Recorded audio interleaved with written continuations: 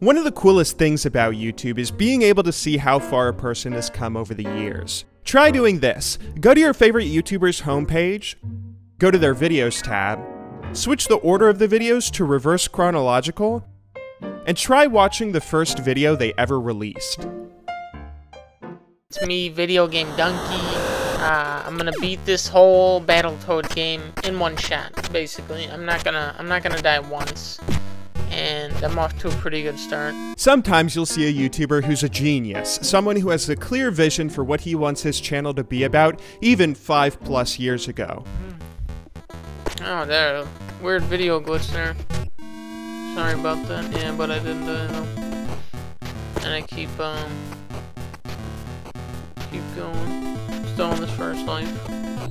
Other times you'll see something a bit more spontaneous and lucky. Take a look at KSI's YouTube channel and do the exact same thing. You'll find a funny care package kill in Modern Warfare 2 that ended up launching his now multi-million dollar career.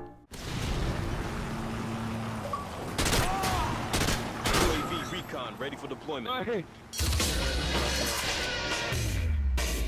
One of the things I like doing the most on these videos is going into the comments section and seeing what people are saying. Normally it's filled with dumb spam. After all, you gotta know who's watching this in 2016, right? But one copy-pasted comment that I've always found interesting is whenever someone says, 0 minutes, 0 seconds, the birth of a legend. It's not much better than any of the other spam thrown out on YouTube, but it's interesting. It's a comment that encapsulates pretty well just how cool it is that we get to see a success story which started right before our very eyes with this single minute long video. It might seem like every time you go to a YouTube channel like this, it'll be the same thing over and over, birth of a legend, birth of a legend, everyone just saying how much they love their favorite YouTuber. But for better or worse, that's not always the case. Let's rewind the clock back to the year 2009. Do you guys remember what was king of YouTube back then?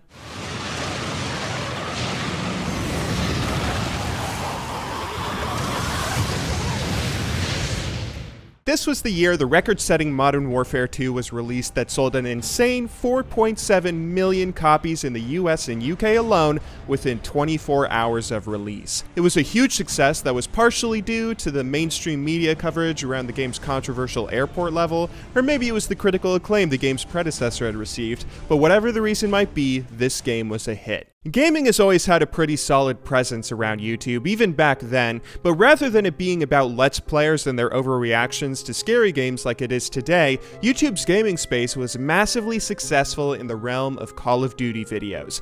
And in October of 2009, one of the community's pioneers, the one and only XJawz, otherwise known as Sam, would create a YouTube account and start uploading Modern Warfare 2 gameplay. He was pretty good at the game, and he uploaded some impressive videos with solid kill death ratios that got him a couple hundred, couple thousand views. Eventually, he'd make some projects that fit into the YouTube algorithm a bit better and drew some attention to his channel, how to get a tactical nuke, world's fastest nuke without kill streaks. Some of these videos would garner a pretty solid number of views, others just a couple thousand, but whatever motivated him, whether it was dreams of success or if he was just having fun, Sam kept on uploading, and after a year of work on his channel, he would really start to kick off with the release of Call of Duty Black Ops. His first Black Ops videos now easily have over 100,000 views per video, sometimes cracking a million plus. It wouldn't be long now before XJawz was one of the biggest YouTubers in his community. As the years went by, this kid, all between the ages of 15 and 18 years old, would go from 100,000 subscribers to 200,000 to 300 to 500 onwards and upwards with no signs of stopping. He was on top of the world, still just at the end of high school, headed into his freshman year of college, and he had everything he could possibly want. He was rich, YouTube had made him a fortune, a fortune which he began showing off a bit often in his YouTube videos. Support me on this video, support the fact that I want to be 100% honest with you guys when the other big commentators may not want to and, and maybe a little bit scared to be just because they don't want to get hate. He was traveling the world, driving expensive cars and hanging out with celebrities. He even got to spend some time chilling with Justin Bieber and began dating a porn actress. Those who followed him didn't exactly like seeing him flaunt his new lifestyle so much, and it's believed by most that sometime around here he began suffering from an Adderall addiction. His audience was fine with his new style at first, though. They sort of brushed it off. Every YouTuber they knew began selling out to the man at this point, and XJawz was no different. But it wouldn't take long before he would be marred with a bit of controversy, this time when another Call of Duty YouTuber was found live streaming on Chaturbate. This was an odd occurrence to say the least. It was something that most people didn't really know what to take from it. XJawz would make a video commenting on the situation, poking a little bit of fun at the YouTuber in question, and ended up using the word whore in the video.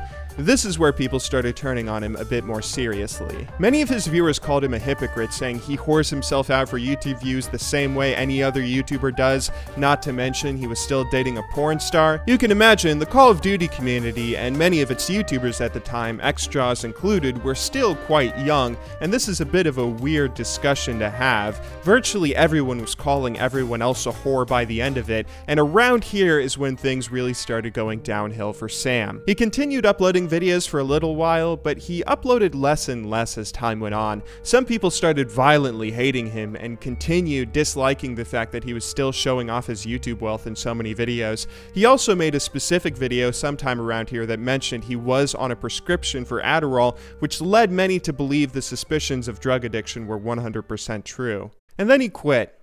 He would quit and occasionally come back and make a video or two with some sort of strange philosophical theme throughout the video that many of his viewers didn't exactly understand and often mocked, and it wouldn't be long before he left YouTube again. Rumors started spreading about him losing all the money he made due to his Adderall addiction and other personal issues. Many people feel sorry for him at this point. He was one of the YouTubers who pioneered the golden age of the Call of Duty community's YouTube scene, an Icarus that flew too close to the sun and ultimately fell crashing back down to earth. Others still dislike all his videos to this day the few times he uploads, bitter and resentful, unwilling to forgive his mistakes of the past. But the saddest part of the story is whatever mistakes he made during this stage of his youth, no one can let go of. Whatever joy or entertainment he was able to bring to his audience's lives, none of it seems to matter anymore.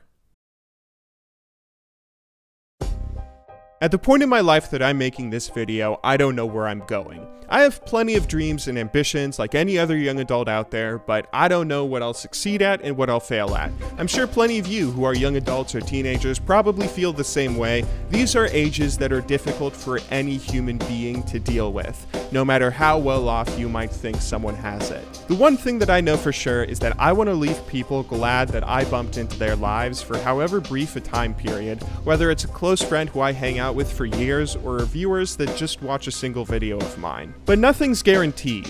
I don't think XJawz or Sam is a bad guy. I don't think he's an evil person or even misguided anymore. I think he was just a young kid who struggled with the massive amount of fame the internet brought him at such a young age, and he made a few mistakes. But unfortunately, his story is a reminder that no matter how good your intentions may be, you can't help but wonder, how will they remember me?